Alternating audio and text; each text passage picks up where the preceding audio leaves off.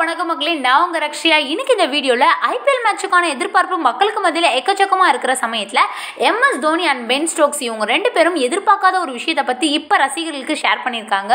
So இதை பற்றி இன்னைக்கு இந்த வீடியோவில் ரொம்ப கிளியராக பார்க்கலாம். வாங்க நம்ம வீடியோக்குள்ளார போகலாம்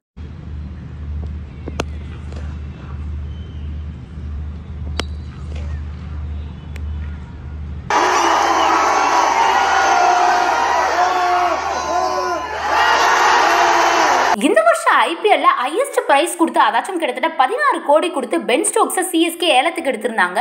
அதுக்கு ஒரு முக்கியமான காரணம்னா இவர் ஒரு ஆல்ரவுண்டர்க அது மட்டும் இல்லாமல் தனக்கான பேட்டிங்கும் பவுலிங்கும் சிறப்பாகவே விளையாடி கொடுப்பாரு.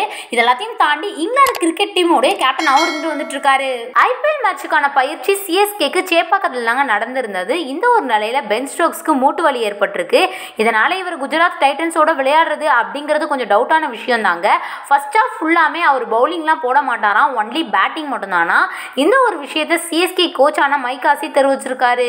பதினாறு கோடி கொடுத்து ஏலத்துக்கு எடுத்த பென் ஸ்டோக்ஸ்க்கு இந்த ஒரு நிலைமையா? அட போங்கப்பா அப்படின்னு பார்த்து சரி ஓகே இந்த பக்கம் நம்மளுடைய எம்எஸ் தோனி இருக்காருல அவர் பார்த்து பாருன்னு பார்த்தா எம்எஸ் தோனிக்கும் சேம் அதே ப்ராப்ளம் தாங்க.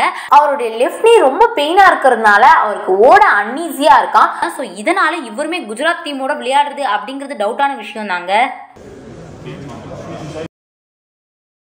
எம்எஸ் தோனி பென் ஸ்டோக்ஸ்க்கு மட்டும் இல்லைங்க ஐபிஎல் மேட்ச் விளையாடக்கூடிய பல பிளேயர்ஸ்க்கு இந்த மாதிரி இன்ஜுரிஸ் ஏற்பட்டிருக்கு. ஸோ இதெல்லாம் தாண்டி தான் அவங்க ஐபிஎல்லே விளையாடுறாங்க. நீங்கள் இதை பற்றி என்ன நினைக்கிறீங்க மறக்காம கமெண்ட் பாக்ஸில் கமெண்ட் பண்ணுங்கள்